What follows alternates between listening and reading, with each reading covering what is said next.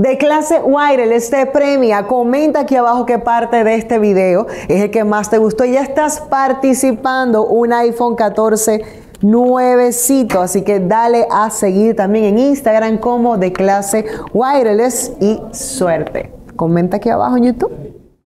Una pizca de picardía. Dos tazas de información. Tres cucharadas de entretenimiento y Jessica al gusto. La receta perfecta para la radio del mediodía. Jessica en punto. Chicos, recibimos a un cirujano plástico reconstructivo y estético que fue el encargado de hacerme mis pequeños retoques, que yo soy natural, en verdad. Esto solo va a pasar hoy y lo vamos a borrar, por favor. No le digan a nadie. Oye, el cirujano dice que sí, sobre todo. Bienvenido, doctor Luisán. Bueno, muchas gracias eh, por tenerme aquí con ustedes. Para mí es un gusto. Eh, Ay. tremendo proyecto, déjenme decirles. Cuando tengo mi chancecito en los tapones lo pongo. Y para mí es un gran honor estar aquí con ustedes conversando un poquito de lo que realizamos. Eh, no sé si Fiorella quisiera compartir un poquito de su experiencia, eh, siempre y cuando sea de discreción para ella. Ya, ya sabemos que le hizo la hipopapada. Sí, sí, Pero bueno, ellos tuvieron bueno. todo el contenido el todos show. los días. Fiorella no conoce la palabra discreción. o sea, tranquilo, puede decir lo que quiera. Pero tenemos otra Fiorella, definitivamente, porque la cara le ha cambiado mucho. Así que cuéntenos qué fue exactamente lo que se le hizo. Líder, si usted tiene alguna sorpresa ya en la clínica y la quiere dar, dígaselo a Fiorella que no le diga a nadie. Ah, ok. Y ahí ya todo el mundo lo va a saber. Eh, realmente eh, eh, con ella hicimos un proceso de perfilamiento facial donde incluimos eh, medios no quirúrgicos y también medios quirúrgicos, detallitos que hacen la diferencia. Aún estamos en el proceso, pero entiendo que lo primero es que la paciente esté contenta y a gusto con sus cambios y nosotros ver que el trabajo realmente sí, sí deja eh, una, un cambio en la autoestima de la paciente, que se sienta mejor consigo mismo. Para una cirugía como la de Fiorella, todos somos candidatos. O sea, por ejemplo, yo quiero hacérmela. Yo soy candidata. Tú en específico sí. Ok. Pero existen, sí, existen. Pero acaba de dar a luz. Bueno, no. Entonces tenemos que esperar un tiempito. ¿Cuánto tiempo? Aproximadamente de 6 a 8 meses. Toma. ¿sí? Luego Paga tu de- consulta, Sabri, no gratis. Ya ella, ya está aprovechando aquí, ¿eh? Estoy entrevistándolo. Pero en realidad, más que eso, vemos un conglomerado de condiciones, eh, hablando específicamente ¿verdad? del perfilamiento facial, que no es solamente el procedimiento que realizamos o más realizamos, pero que es el de interés porque es lo que estamos conversando de, de mi amiguita Fiorella.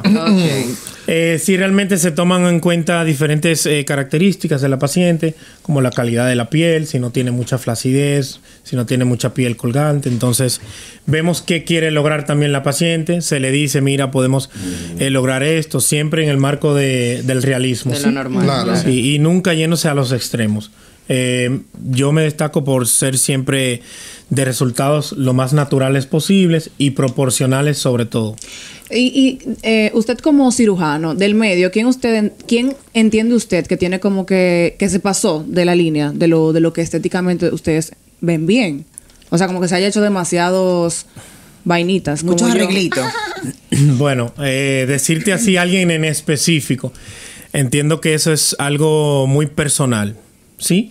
Pero eh, como sabemos que han habido personas de los medios que han utilizado sustancias, por ejemplo los biopolímeros, que han venido atravesando procesos no solo estéticos, ¿sí? sino de salud. Eh, personas que, por ejemplo, han tenido malas experiencias con cirujanos no certificados o personal médico no certificado. Por eso es que nosotros siempre insistimos, no es para que vayan donde nosotros, que pertenecemos a la sociedad, dicho sea de paso, sino para que como paciente tenga la certeza de que se le va a realizar un trabajo eh, en el marco de la seguridad. Porque recuerden que eso es un procedimiento eh, meramente estético y ambulatorio. O sea, es algo que tú te lo haces no por cuestión de salud, sino porque tú te quieres sentir mejor y verte mejor. Mira, eh, para muchos hombres es un mito, es algo lejano, es algo que mm, oh, eh, hasta uno puede dudar de, de su sexualidad por tabú, esto. un tabú. Un tabú. La palabra es un tabú. Pero, ¿hay muchos pacientes hombres que visitan su clínica? Claro que sí. Sí. Justamente esta mañana tuve uno. ¿Qué? ¿Y Sí. qué se hace mayormente? Mayormente, bueno, el hombre, dependiendo del grupo etario o la edad que pertenezca, muchos adolescentes, eh, ¿Adolescentes? Se, se operan, Sí. se operan de ginecomastia, por ejemplo. ¿Qué? Es el, agrandamiento de las mamas, ¿sí? El hombre también lo tiene. Eh, si Mucho son ya- también por la moda de los anabólicos que ahora vienen y caen con las Sí, con los Hay muchas cosas que producen la ginecomastia, que es el agrandamiento de los senos. Pero si te vas a un grupo un poco más avanzado, por ejemplo, la edad de nosotros, tú ves que ya hay muchos hombres haciéndose marcación abdominal, haciéndose su lipo, eh, haciéndose abdominoplastías. Doctor, ¿verdad que Brian para la lipopapada Califica. Sí, sí, él lo vamos a tener por allá pronto también. ¡Qué bello! Pregunta que hago. Lipopapá, esto es una pregunta de verdad muy seria. Sí. A mí me parece que la estructura de Brian es una estructura bonita, él es muy alto. Macho. Sí, como el Brian es mm, lindo. Pero yo siento que él tiene aquí atrás un bultito. Ese bultito también es operable. Detrás del cuello hay como una Se- papada debajo de la nuca. Hay, hay un depósito graso localizado, ¿sí? Una lipodistrofia localizada en el cuello, que también pudiese tratarse. Pero más que eso, eh, la lipopapada eh, lo que busca es una definición del arco mandibular, ¿sí? Pero llegaría la lipopastía. No, no, no, Pero claro sí que no. es operable Sí, esa es operable, atrás. sí. Doctor, mire, a mí no me gusta el chisme, pero a mí me entretiene un poquito. Tú sabes que yo imagino que allá van muchas chicas poderosas, muchas chicas divas, que quizás tienen algunos colaboradores que a veces Sí. les pagan por lipo y Eso todo. es, eso es confidencia, secreto de no, no, confidencialidad. claro, claro, no, usted no puede venir aquí a decir No, nombre, no, no, pero no, no. sí puede decir si pasó algo. ¿Usted ha tenido algún problema con algún colaborador de esas mujeres que no quiere pagar y que se le juntan los mares en la clínica? ¿O no ha pasado nada? Algo así. Mira, mira, eh, eso es un tema. Se le juntaron dos Pero maridos en la eso operación. es un tema, pero siempre y cuando esa cuenta está en cero, el cirujano no tiene que ver. Es cirujano que sí, es verdad, tú eres el marido, tú No, no. no, A veces, a veces le piden 10 y nada más son 5, pero ese no es tu problema, ¿tú me entiendes? Me Y suena usted, y usted se encarga de devolverle lo otro. Bueno, eh, bueno, yo no entro en esos negocios. ¿tú Pero usted, entiendes? usted no le dice de que sí, son cinco. eh, fue que ella le- o usted le dice lo que ella dice que usted diga. No siempre la confidencia es con la paciente. Doctora, a discreción, a discreción. ¿Quién le pagó la cirugía a Fiorella? Ey, ey, Si yo lo digo aquí, eh, tengo problemas. con. Doctor, La Porque vi un, pro- vi un programa, vi un programa el otro día en tu programa. Entonces tú sabes, no, no puedo meterme al medio. No, doctor, doctor, mire, pero, doctor, yo lo saqué de aire, lo puede decir, no se preocupe. pero por esa misma línea, doctor Pérez, ¿y usted no ha visto a un marido pagando dos lipos diferentes? No, eso no, el hombre no se presta para Ay. eso. Por lo menos no me ha tocado eso. Así A mí no me ha mismo. tocado. ¿Tú te imaginas? Yo me imaginé el doctor y que tú no viniste la semana pasada con una rubia. Doctor, cállese, tome su dinero. No, no, no. Realmente, tú sabes que en esto de la cirugía plástica, antes era algo como un poco más reservado. Y ahora se muestra como algo, es como... Un orgullo. Un logro, amor. Claro. Porque, o sea, nos hemos dado cuenta que tú realmente sí te sientes mejor. Cuando tú tienes, mi logo es trabajemos juntos en tu mejor versión. Y- cuando tú tienes tu mejor versión, o sea, tú brillas como persona. Se te nota. Eh, ¿Tú me Claro. Doctor, y, en el caso de, por ejemplo, cuando yo vine aquí a Santo Domingo, yo no soy de aquí, yo soy de Santiago, pero me di cuenta que hay un molde. O sea, se ve mucho el mismo tipo de cuerpo. Y es como que muchos senos, poca cintura, muchas nalgas. ¿Qué usted piensa de ese, de, de ese, de ese prototipo que, que es como genérico, por así Sí. decirlo? ¿O usted tiene su propia línea o lo que la paciente diga o cómo es? Mira, eh, en cuanto a eso, es dependiendo incluso de la escuela donde se formó el cirujano. Eh, de los gustos personales, del target o marketing que haga el cirujano para atraer cierto tipo de paciente, porque vamos a hablar claro, ¿verdad? Eh, si yo lo que subo son pacientitas así como Fiorella, me van a escribir pacientes como Fiorella. Claro. ¿Tú me entiendes? Pero ese es mi gusto personal como cirujano. A mí las pacientes voluminosas son muy grandes. Yo no te voy a decir que yo no las intervengo. Posiblemente sí, pero no es el material al que yo le dedico. Eh, No ese es el contenido de Exactamente, ella. precisamente. Y operas pacientes que tengan biopolímeros. Bueno, el retiro de biopolímeros es una cirugía ya reconstructiva. Ajá, por eso. Y usualmente es en más de una intervención. O sea, no en una sola cirugía, tú resuelves el problema del biopolímero. Pero lo que más tu, tu especialidad, ¿cuál es? A mí me gustan mucho los senos. Ok. Oh. Si ven mi página, ¿Cuánto- eh, me gusta subir mucho el contenido de los senos, porque entiendo que es una cirugía que no solamente estética, sino que le devuelve mucha personalidad a la paciente. Sí, y mucha sí. pechonalidad también, ¿tú me Sí. Al mismo tiempo. Sí, la, la mujer tiene más aquí, o bueno, las latinas tendemos a pensar que mientras más senos, más bonitas somos. o Como, que, como que tú necesitas eso para que te veas femenina. Porque recuerden que la anatomía de la paciente latina es de grandes caderas. No es como la europea. ¿Sí? O sea, la carencia de la latina precisamente son los senos. Arriba. Sí. ¿Cuál, ¿Cuál vendría siendo la consecuencia de una persona que no decide retirarse los biopolímeros? Bueno, en, en primera instancia te diría que el biopolímero se ha demostrado ya que es una sustancia totalmente nociva. Wow. Antes se utilizaba, sí, era un medio de relleno, mayormente para voluminización glútea, pero yo he visto pacientes hasta con aumento de labios con biopolímero. El problema del biopolímero es que es una sustancia inestable. Entonces migra a los diferentes tejidos. Si te digo que el biopolímero se adhiere hasta el hueso, o sea, hay una Sí. migración. Se puede ir a un muy órgano, agresivo. se puede ir al Exactamente. corazón, a la columna Entonces ya vertebral. eso presenta síntomas. Tengo amigas que tienen en los talones y no pueden caminar porque en los talones tienen el biopolímero que se pusieron en la nalga. Tiene que ser dolorosísimo. Hay una migración, entonces esto te produce un síntoma. Y ya no es solamente por lo estético que se opera la paciente, No, es por es la por lo funcional. Eh, vi el caso de la Segura, una influencer en Colombia muy famosa. Sí. ella se acaba de hacer la segunda, creo, la segunda Sí. extracción. Y en el caso de ella, el biopolímero estaba infectado. Es Ella tenía dolor crónico. O sea, llegó un momento donde ella ah, eh, pasó en un año la cantidad de morfina y de anestesia Que se podía que poner. se le podía poner. Eran ella como vivía tres parches, y eran diez. Ajá, ella vivía con parches de, de morfina y de ahí la inyectaban y de ahí el, parche y así ¿Qué iba. pasa si una persona no tiene recursos para extraerlos? Yo en una oportunidad estaba viendo una entrevista de una influencer latina que se cotizó en Colombia y el médico colombiano muy famoso le dijo que la extracción de biopolímeros eran 50 mil dólares sin verla. Sí, así mismo es. 50 mil una sesión. Lamentablemente, lamentablemente, en Colombia. La cirugía del retiro de biopolímeros eh, no entra o no está incluida dentro de los planes eh, de, De de salud. salud. De salud. Sí, porque meramente usted se hizo ese procedimiento con un fin estético. Y mucho menos aquí en nuestro país, donde ustedes saben que tenemos eh, ciertas limitaciones con los procedimientos permitidos. Ahora bien, conozco un cirujano colombiano, el doctor Carlos Ríos. Eh, sigo su trabajo desde Ay, hace sí, yo mucho también tiempo. lo sigo. Muy duro, él, muy duro. Se especializa en retiro de biopolímeros.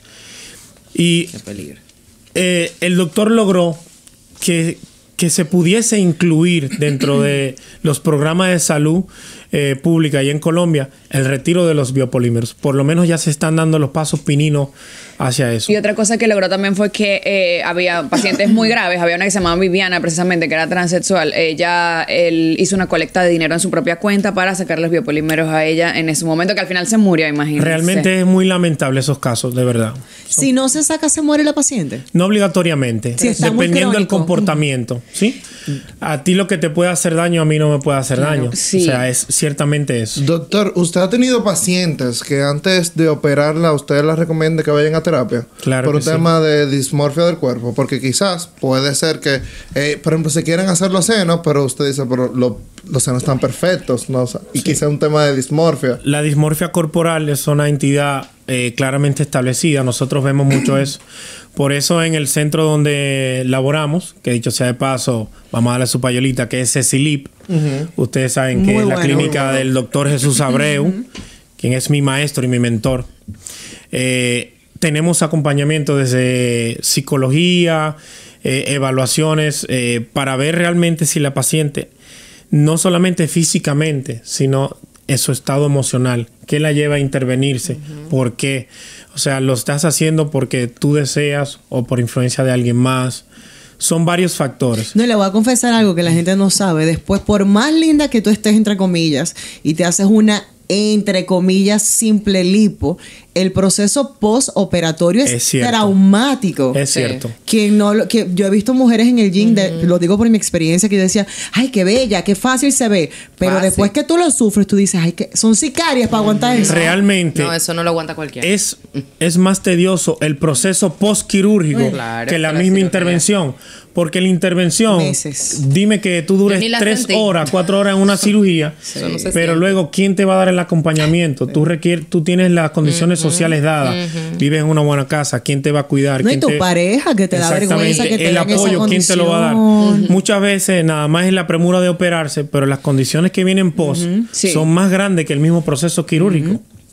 Eh, doctor, ¿cuál entiende usted que es el tiempo prudente para hacerse una operación y otra? Porque hay mujeres que yo veo que toman la, la liposucción. Por ejemplo, yo me realicé una liposucción y yo no pienso volverme a hacer una. Y hay pacientes que lo ven como dos por año. ¿Tuviste una mala experiencia? No, fue excelente, pero entiendo que uno debe como ser responsable. Está Bueno. fuerte, Eso. pa.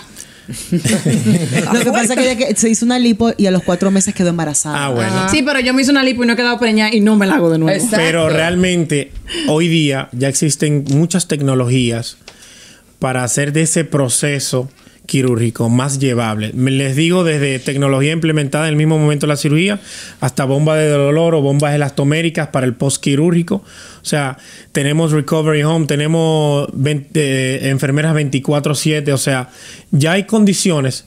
Eh, la tendencia es más acomodar a la paciente, de que el proceso sea más llevadero. Pero usted entiende que es prudente hacerse No, más claro de que no. una- Mientras menos procedimiento tú te hagas, mucho mejor. Ok. Aunque eso signifique menos budget para el cirujano.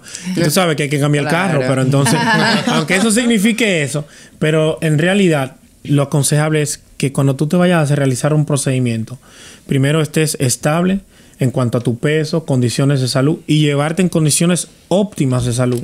No llevarte, por ejemplo, con una anemia, hacerte cinco procedimientos.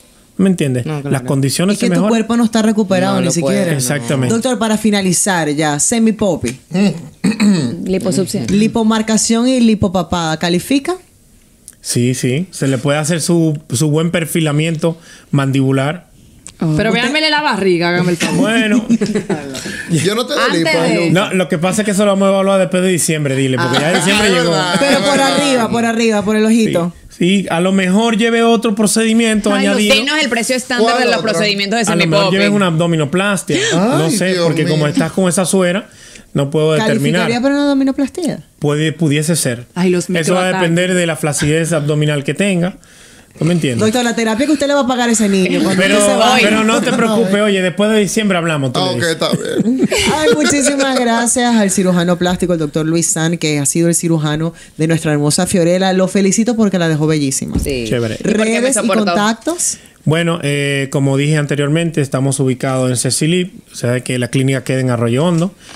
Mis redes sociales son en el Instagram, que generalmente es por donde nos manejamos, y el Facebook. El Instagram es DR Luis rayita bajo San, mi apellido se letrera S-A-N-G, DR Luis underscore San, y mi número de contacto para eh, pautar citas y evaluaciones, el 809-764-9004. Nítido, gracias doctor. Felicidades Fiore, quedaste bellísimo. Usted pegadito. A Jessica en punto, no te muevas de la bacana 105.5. Una pizca de picardía. Dos tazas de información. Tres cucharadas de entretenimiento. Y Jessica al gusto. La receta perfecta para la radio del mediodía. Jessica en punto.